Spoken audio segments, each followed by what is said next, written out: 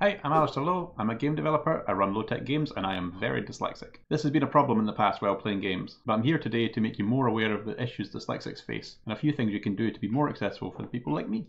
The definition of dyslexia changes depending on who you ask, but the way it's usually diagnosed is that they do an IQ test and then compare your values to a baseline.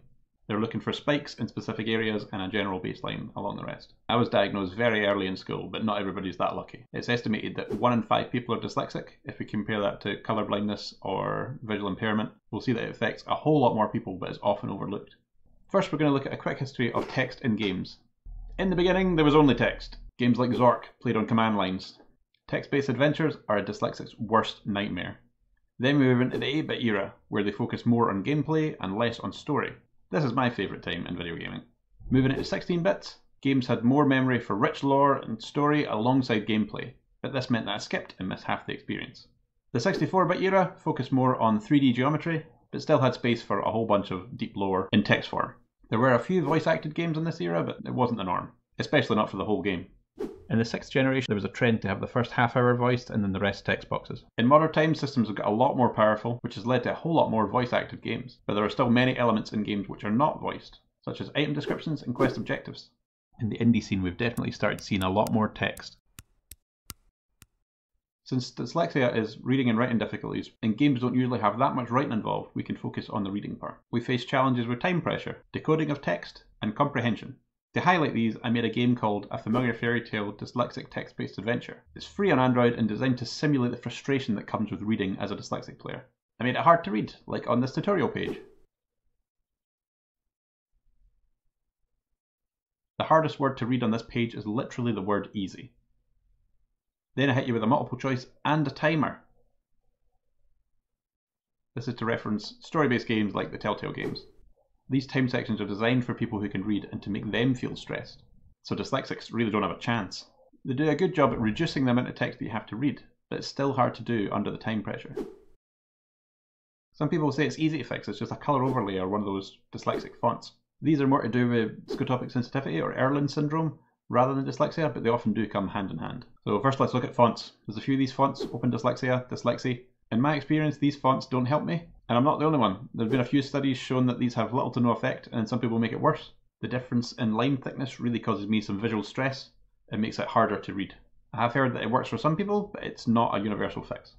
When picking a font, just go for a nice sans serif font with as close to a consistent line width as you can get. If you see people saying that they can read better with this font and they're not dyslexic, it's maybe just a case that you need to change your font in your game. Text is there to portray information, and if it's not doing that, you need to change it. Colour overlays, on the other hand, do keep the letters from moving in my eyes. By reducing the contrast, it does help stabilise the image for some people. That brings me to high contrast mode. This works for some people too, but as I just said, uh, we want to reduce the contrast, not increase it. And this is where it gets really annoying because visually impaired people do like the increase in contrast. So by helping one group, you might be hindering another. But with all that being said, I think there is a golden bullet and it is text to speech. When I learned about text to speech, it completely changed the way that I live my life. I just select the text and then get the computer to read it for me. Hello world. I added it to a familiar fairy tale, and it's night and day. It's the difference between being able to enjoy the story and struggling through decoding text. So for your game, you could go fully voiced, but that's expensive and not always in budget for indie games. You can write a text-to-speech wrapper for each operating system because most have them built in, uh, on PC and mobile at least. The consoles are still kind of playing catch up, but it is getting better. Or you can run it through a text-to-speech tool and save the output. Do make sure to read the license agreement for any of these text-to-speech tools.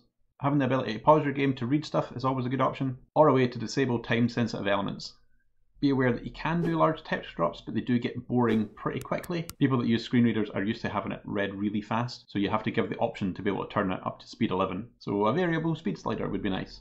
One game that I think does this really well is Bioshock with its audio logs. They let you get the lore drop while continuing to play the game. Text to speech can be used for this too. You can simply set it to play and then let the player continue playing. You may need some kind of way to stop this clashing with cutscenes, whether you have a pause button just for the accessibility stuff, or build in some kind of trigger that doesn't trigger until the audio is stopped.